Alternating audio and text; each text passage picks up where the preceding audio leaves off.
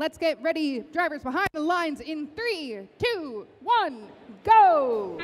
The Red Alliance side, and Autonomous Team 7457 has scored some of the power cells into that high goal, while their partner 5480 is scoring into the lower port.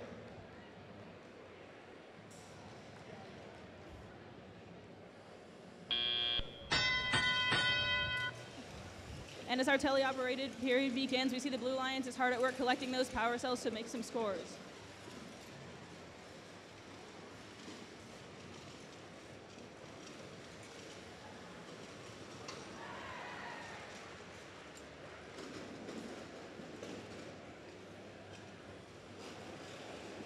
Meanwhile, on the, over on the Red Alliance time, team, team 829 from the Blue Alliance is starting to play some defense on 74-57 to stop them from scoring.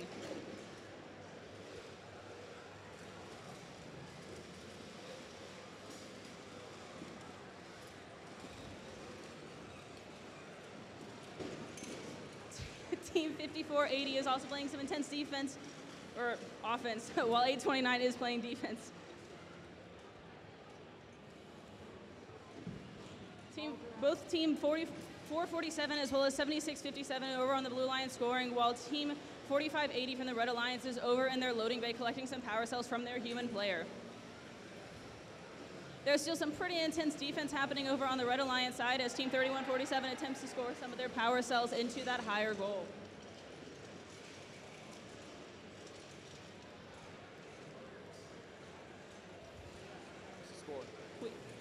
We have just under a minute left in the uh, qualification match 47 with a score of 77 to 55 in favor of the Red Alliance.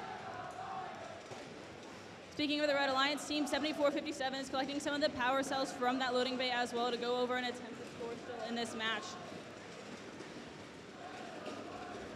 Well, it looks like Team 829 might be attempting to get ready in order to get ready for that endgame And it looks like for the Blue Alliance, we have three robots that might attempt to get up for that climb, while the Red Alliance is also getting into position. With 15 seconds left, it looks like all three robots are at least hooked onto that bar. It looks like all six robots are trying to climb with five seconds left.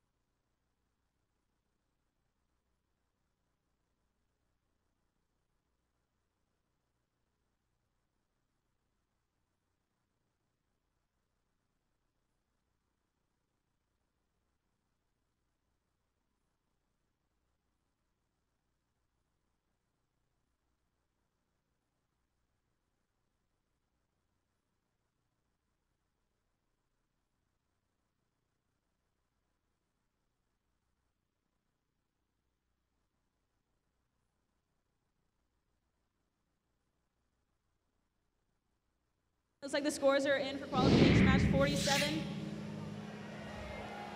And the winner is the Red Alliance. Talking, talking. Which means that Team 7457 Ah, okay. will maintain their This number one rank as well as their other two teams on their alliance will move up in their rankings as well.